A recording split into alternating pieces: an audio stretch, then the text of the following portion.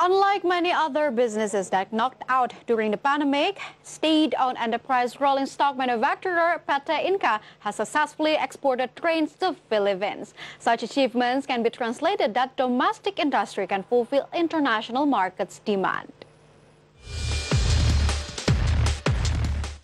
The transportation's equipment industry is one of the sectors that has received development priority based on 2015 to 2023 National Industrial Development Master Plan.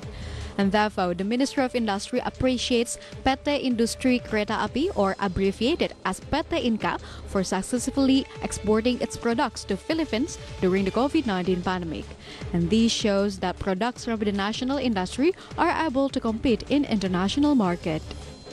A total of three locomotives and 15 passenger carriages produced by PT Inka were sent to Philippine National Railways from Tanjung Perak Port, Surabaya.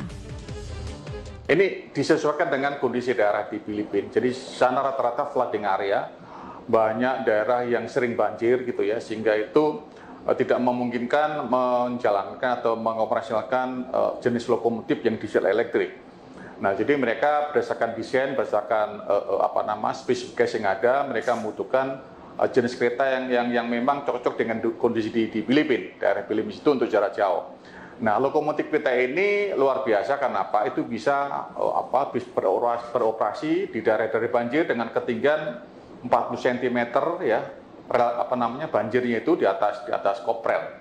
Jadi di atas rel itu masih bisa jalan. Jadi kalau airnya maksimal 40 cm itu log kita masih berjalan.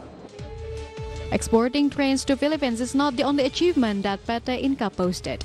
Months before, PT Inka successfully exported 250 trains to Bangladesh by September 2020. And later on, PT Inka plans to expand its business to Africa continent company is eyeing Africa's market due to African Belt Economy Development that will be established in the near time. African Belt Economy Development will connect North Africa and South Africa, and therefore it needs connectivity, one of the way is by using train. From Jakarta, Ade Firmansyah for IDX Channel.